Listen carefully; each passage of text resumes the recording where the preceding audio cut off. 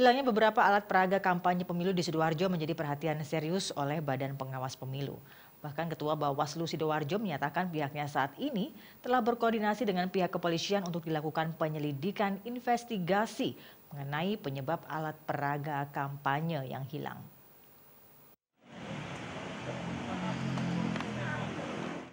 Hilangnya sejumlah alat peraga kampanye ini masih dalam penyelidikan pihak Badan Pengawas Pemilihan Umum yang melibatkan pihak kepolisian.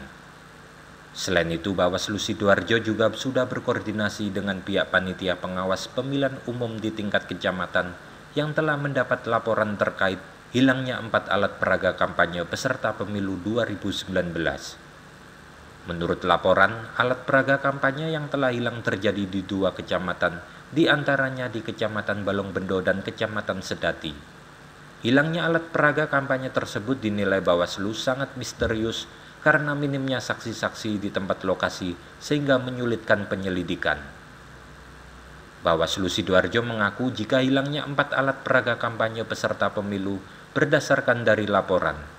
Setelah ditelusuri sejumlah alat peraga kampanye banyak yang mengalami roboh dan ada juga yang hilang dari tempat berdirinya alat peraga kampanye tersebut.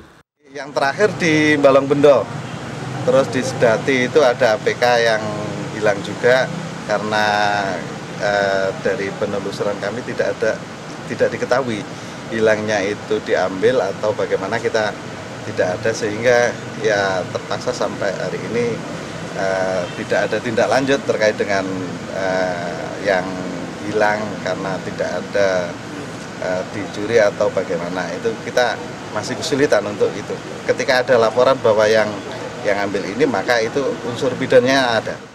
Dari adanya laporan ini, Bawaslu Sidoarjo akan terus menindaklanjuti atas hilangnya alat peraga kampanye di dua kecamatan karena diduga sudah ada unsur pidana pencurian. Agung Dharma, Surabaya TV